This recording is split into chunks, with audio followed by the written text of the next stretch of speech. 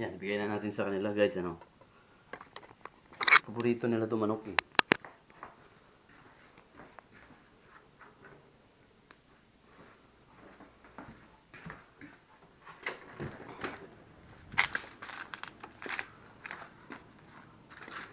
Kadaming uwak dito sa ano na ito, sa amin.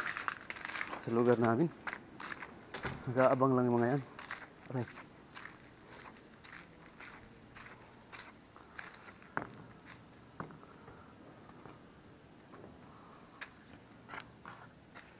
Yan, manok yan, manok. Kuhanin ko lang yung ano ko. Pang pang stand ng cellphone, no? Para kuha, kuha, kuha, kuha sila sa akto.